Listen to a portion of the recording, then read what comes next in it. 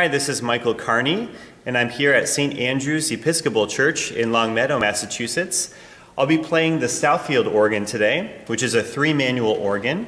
The top two divisions have 35 stops, and the choir division, while room is left inside the chamber uh, for the choir division, only has the clarinet stop at the moment.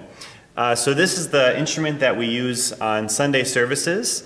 And for this improvisation, I'll be taking the theme from the previous two improvisers and mostly using the use of the, the tritone, uh, especially the way that Anthony did in the last improvisation.